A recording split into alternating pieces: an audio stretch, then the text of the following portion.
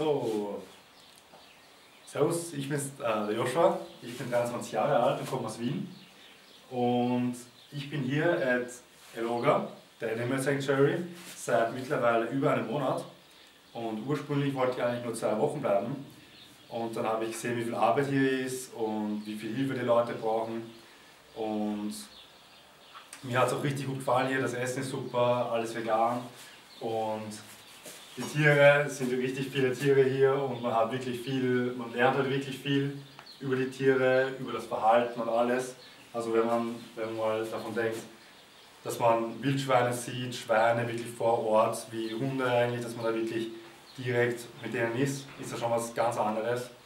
Und ja, ähm, somit habe ich mich dann entschieden, länger zu bleiben.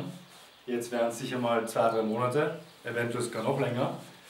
Und momentan ist die Lage halt so, dass wir umziehen, also von hier, dieser aktuellen Sanctuary, in eine andere.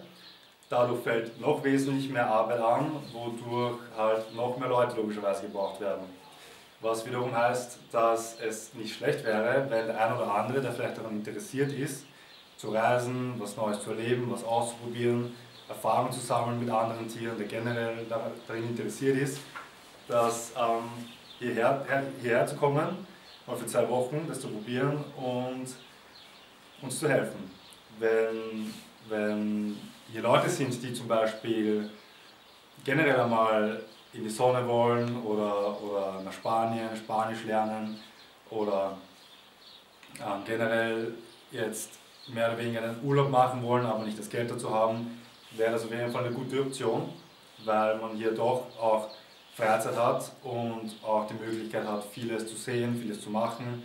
Also man ist nicht nur am Arbeiten, das, das sollte man nicht glauben, aber man kann auf jeden Fall viel helfen und ja, wenn, also, also wenn jemand interessiert ist, sollte man das auf jeden Fall machen und nicht Zeit vergehen lassen, überlegen, sondern einfach Flug buchen, herkommen und, und dann wird man schon sehen, wie super das ist. Und wenn das nicht möglich ist oder das Interesse nicht besteht, wäre es natürlich auch nicht schlecht, wenn man zum Beispiel spendet. Muss jetzt kein überdrüber Betrag sein, aber hin, also ein paar Euro wären schon mal nicht schlecht. Wir haben auch viele Leute, die sozusagen Paten sind von, von Tieren, also die da monatlich einen Betrag zahlen. Und alles hier, das, also das was wir konsumieren, das was, was die Tiere konsumieren, was die Erhaltung betrifft, die Medizin, sehr viel Medizin, ähm, wird alles von Spendengeldern finanziert. Und somit wäre es wirklich eine große Hilfe, wenn sich da einige dazu, dazu wie soll ich sagen, überwält, ähm, dazu interessieren, einmal ein bisschen was dazu beizutragen, wäre wirklich eine große Hilfe. Und ich kann es wirklich nur empfehlen, herzukommen, das persönlich zu sehen, diese Erfahrung zu machen. Also wäre auf jeden Fall sehr, sehr hilfreich und interessant für jeden. Ja.